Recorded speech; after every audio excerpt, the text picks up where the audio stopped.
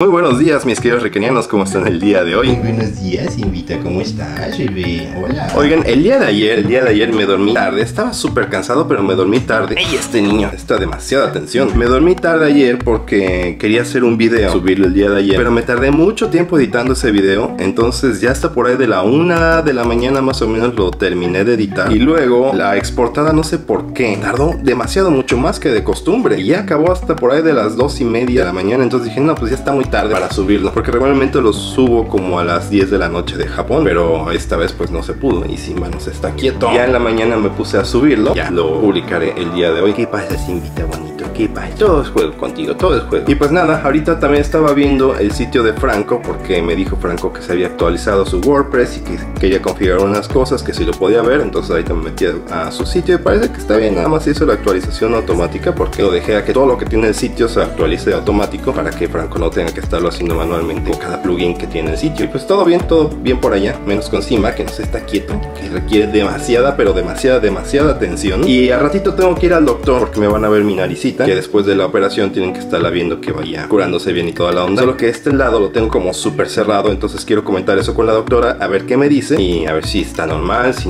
nada más necesita limpieza, si está algo mal o qué onda. pues ya les estaré contando a ratito cómo me va la doctora. Zumba Simba aquí.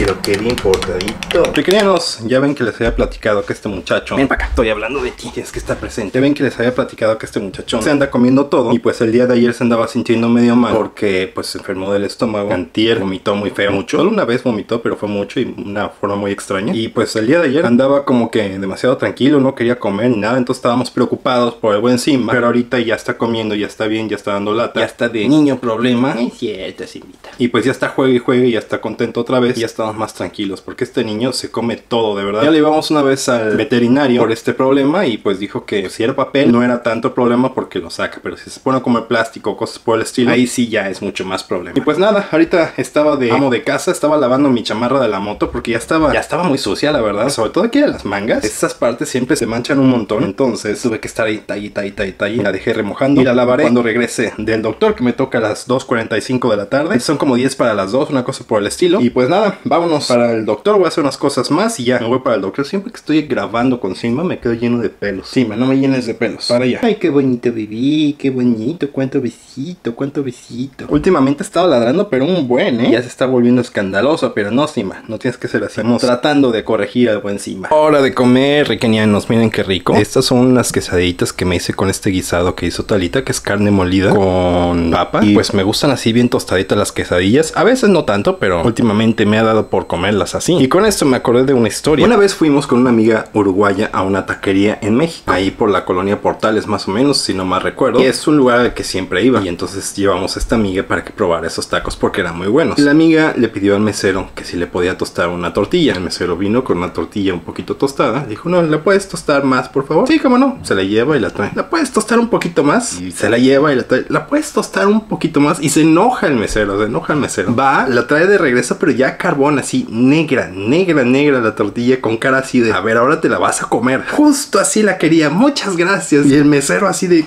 ¿qué? Nos dio mucha risa porque nunca habíamos visto que a ella le gustaban así como carbón las tortillas y el mesero su reacción fue lo mejor. Y ahorita viendo mis quesadillas tostaditas, me acordé de eso. Oigan, ya llegamos al hospital. Ahorita que salga, les platico. Oigan, pues ya salí. Eh, la consulta fue así como que rapidísima. La doctora se ve que estaba bastante, bastante ocupada, pero aún así me saludó con mucho gusto, muy amable. Me cae súper bien esa doctora. Y pues nada, vio mi nariz. Me dice que no hay ninguna obstrucción de, de moco ni de cicatriz, pero que quiere verla dentro de dos meses. Y si sigo sintiendo que está como todo muy cerrado, entonces podría sugerir una segunda operación para abrir todo. No sé si eso vaya a ser necesario o no, pero este lado de verdad está súper cerrado. Lleva como un mes así y es normal que se cierre un lado. Durante el día se cierra un lado y se abre el otro, luego se cierra este y se abre el otro. Eso es totalmente normal. Así es como funciona la nariz. Pero si ya lleva un mes cerrada la nariz, entonces hay algo, hay algo extraño. Entonces me dijo que durante dos meses que no tomara ninguna medicina para la nariz, ni que la lave, ni nada. Y entonces va a haber otra consulta para ver si se opera una segunda vez o qué es lo que sucede. Oigan, y ahorita que llegué, estacioné la motocicleta en el lugar de motos y bicicletas, que ahí es donde va la motocicleta. Y en el mero paso hay una super telaraña que si uno no se acuerda que está ahí o no la ve, te la llevas con todo y araña al pasar. Entonces ahorita estoy así de Riken, acuérdate, Riken, acuérdate, Riken, acuérdate. Ahí te las enseño. Se me hace chistoso visitar nuevamente el hospital. Me siento algo así como cuando visitas la primaria o alguna escuela a la que fuiste, en la que estuviste mucho tiempo. Así me siento. Y eso que solo estuve una semana aquí en el hospital, pero sí, se siente, se siente extraño. Les explico, aquí está la nena, bien guapetona. Y entonces, para subirme a la nena, siempre me tengo que subir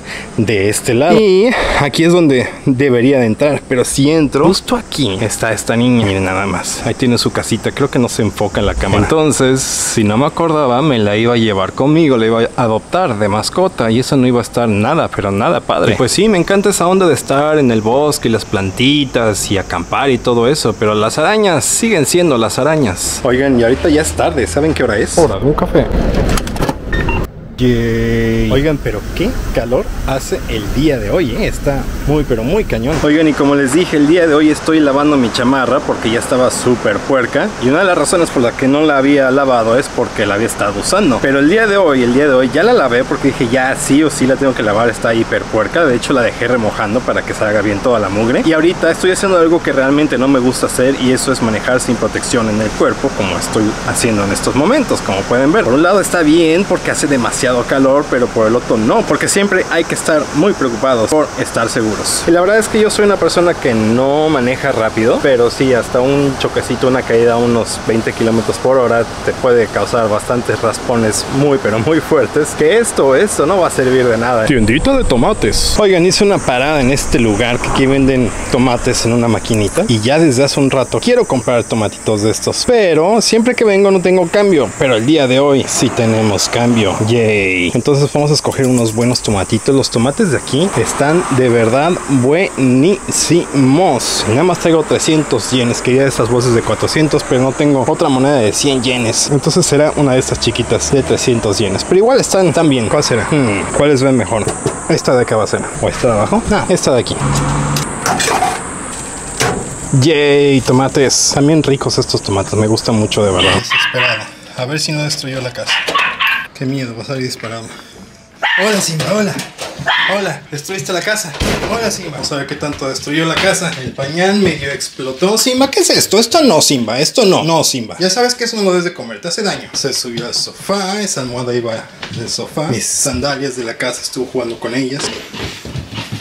Todo es a romper, Simba. Deja de estar brincando. Y un Simba feliz porque está paseando. ¿Verdad, Simbita? Aquí anda Talita. Hola, Talita. ¿Cómo estás? Cansada. Muy cansada. Simbita no sale a caminar, él solo quiere oler, comer plantas. Sale a comer Simba. ¿Verdad, Simbiña? Ay, qué bonito Simba. Miren, ese es su amiguito, pero está muy viejito y ya no escucha ni ve. Ya es la segunda vez que se lo encuentra, pero se saludan con gusto. Ahí van corriendo felices los dos. Campitos de arroz, qué bonito se ve, ¿no? Me encanta este verde. Gracias por esperarme, Simbita. Gracias, qué bonito. Uy, uy, uy, uy, Vamos, Simba. Corre, Simbita, corre. Vamos. Oigan, vean qué bonito verde de estas plantitas. y aparte están muy chiquitas. Aquí hay una mano para comparación. Oigan, hace rato que llegué, Simba vieron que destrozó su pañal. Y pues se lo mostré y le dije, no, Simba, no. Pero, por ejemplo, Talita dice que no hay que regañarlos así porque no saben, no se acuerdan de qué hicieron. Y entonces no tiene mucho sentido regañarlos, ya que uno llega, sino hay que regañarlos en el momento en que lo están haciendo. Que ele está fazendo. E hay pessoas que dizem que sim, hay que regañá-los. Vocês que opinam? Todas as pessoas que cuidam de cachorro, em treinamento de cachorro, falam que não é para fazer, não hum. tem que fazer na hora. De pessoas que entendem de cachorro, de como adestrar e cuidar de cachorro, fala que essas coisas você tem que fazer na hora que você vê, que depois não adianta. Pode ser, tiene lógica, pero pues, também tem memória e entendimento os cachorros, não? Eles se fazem que nem as crianças, falam, ai, criança nem entende, mas mentira, eles entendem É, tudo. tienen todas, como niños que sempre dicen, me estaba escuchando, este niño escucha todo, pues sí está ahí. Entonces, no, yo creo que sí, sí hay que decirle, no sé, la verdad yo no soy profesional de, de Simbas, pero no sé, ¿Ustedes qué opinan? ¿Hay que regañarlos, aunque no sea en el momento, o no hay que regañarlos? Oigan, pues ya quedó mi chamarra de la moto, ya la lavé toda la onda. Las mangas estaban súper sucias, tenían muchas manchas y sobre todo aquí en el hombro tenía una mancha blanca que no salía, quién sabe de qué haya sido. Pero ya quedó. Lavé esa, lavé esto, que esto va dentro de esta chamarra, entonces hace espacio y te acaloras menos. Esta es como una tela muy ligera y luego ya que está seca le pongo de vuelta las protecciones de los hombros, de los brazos, de la espalda y del pecho. Y esta se la pongo ya adentro y las colgué adentro porque empezó a llover y pues si llueve y no se ha terminado de secar, va a oler a humedad y no va a estar nada padre eso. Y a Simba ya le dio por subirse al sofá, pero tuvimos que comprar esta escalerita para que no se rompa la pata de nuevo, porque si no se iba a bajar corriendo y se iba a lastimar de nuevo, ¿verdad Simba? ¿Verdad que sí, nene? ¿Verdad que sí, hermoso? Ay, qué bonito Simba, cuánto beso, cuánto beso, qué bonito. Oigan, pues ya llegó la hora de cenar y ¿se acuerdan la carne que les mostré en la tarde, que era carne molida con papa? Pues bueno, Talita llegó, la combinó con frijol y con arroz y esa es toda acá. Y se ve cafecito porque le pusimos una cosa que se llama fariña y es una cosa brasileña que le ponen regularmente a la carne cuando hacen churrasco y es muy rica. Entonces le puse eso en la parte de arriba y esos son los tomatitos que compramos hace rato. Entonces quedó todo muy rico. Y ahora sí, como decimos en mi pueblo, itadakimasu. Si llegaron hasta esta parte del video, pongan en los comentarios la palabra nariz. Les recomiendo que vean el video que aparece ahora en pantalla, que es el que YouTube piensa que es el mejor que pueden ver en estos momentos. Nos vemos en el próximo video. Bye bye.